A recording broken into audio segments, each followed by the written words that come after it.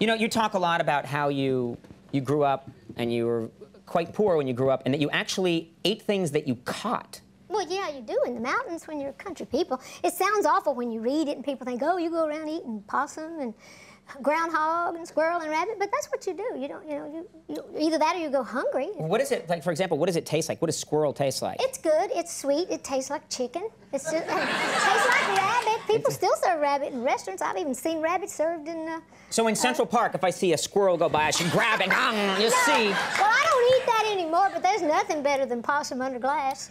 Is that true? no, does, do no. people eat possum? Because well, I, I, grew up, my, one of my do. favorite shows of all time, Beverly Hillbillies, and Granny's always cooking up possum, and I thought, is that real? Do people eat possum? Well, if you're really, really in bad shape, you eat possum. My dad never would let us eat possum. He said, that ain't nothing but a damn rat. And it's true. Then he said, pass the squirrel. Pass yeah. The squirrel. I'm not eating that. Mmm, squirrel.